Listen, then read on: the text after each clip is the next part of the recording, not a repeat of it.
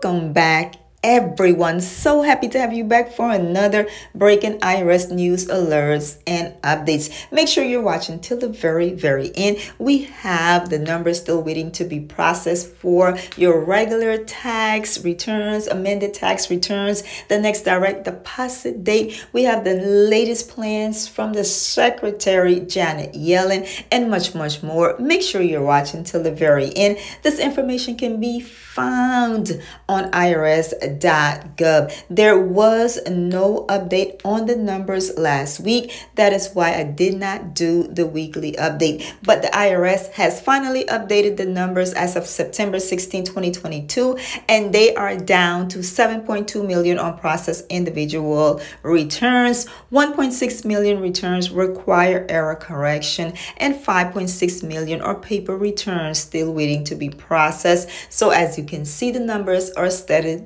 steadily declining. All right. The IRS states that they continue to process tax returns that need to be manually reviewed due to errors. For returns received in the current year, uh, they are processing individual returns for which refunds are due first. Then they are processing returns that reflects uh, reflect tax all right?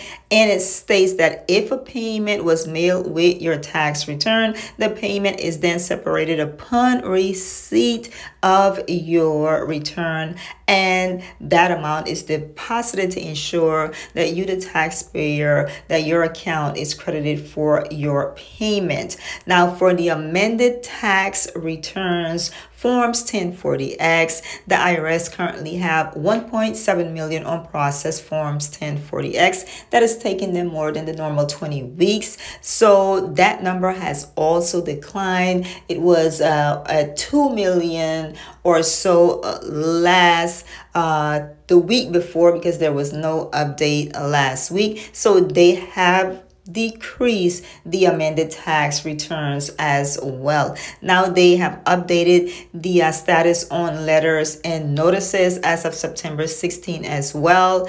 It states that while they are opening mail within the normal time frame, processing uh, your responses is taking longer than the usual due to resource restrictions. The exact time frame varies depending on the type type of issue. It says once you have answered the uh, letter or notice that was mailed to you, you do not need to answer it again. The IRS is working through all taxpayer replies in order in which they are received and will consider your reply as of the date it was received, not the date it was reviewed. So if you mail something to the IRS and it has not been updated, it is stating that they are behind on updating those notices and correspondence, but you will be credited for the date it was received and not the date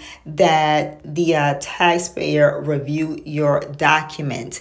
Now the IRS is also sending out paper checks if the bank rejected your uh, refund, they will send you a notice that says that they have sent you a check to the address shown on your tax return because they weren't able to complete your direct deposit as you can see from this particular uh, notice shared. Now the next direct deposit date is September 19, 2022. Make sure to share with us in the comment section if you did indeed receive a direct deposit date for September 19 or if you received your tax refund already. Moving on, uh, Secretary Janet Yellen is stating that they will be hiring 5,000 additional customer service representative, which should cut down phone wait time in half from an average wait of nearly 30 minutes during 2022 filing season to less than 15 minutes with the new hire. Uh, Janet Yellen also stated that the IRS will be hiring more staff at it at its tax assistance centers so that taxpayers can more easily resolve issues with your returns in person.